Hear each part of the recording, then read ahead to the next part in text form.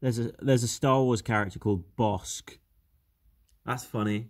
You can um you can watch. You don't need Disney Plus either, though. You can watch on Pirate Bay. You can watch The Mandalorian on Pirate Bay. It's good. It's better that way anyway, because then um, then if your internet goes out, you can keep watching as well. So that's pretty cool.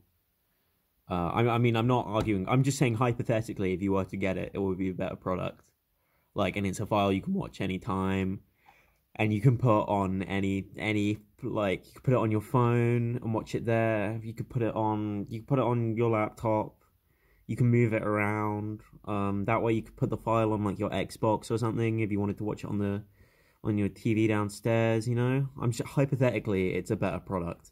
I mean, like, I'm not saying you should, but I'm saying if uh, there was no um, legal arguments, you should watch it on Pirate Bay. It would be a better product, just hypothetically. So when I say you should, I'm not I'm not encouraging anyone to do that. I'm just saying hypothetically, it's a better product. Like there's no DRM, you know, there's no digital rights management. It's just there. It's the file. It's quick and easy. Once you got it on there, it's better. I'm just saying. I'm just I'm just saying. I'm not I'm not making an argument for it. I'm just saying.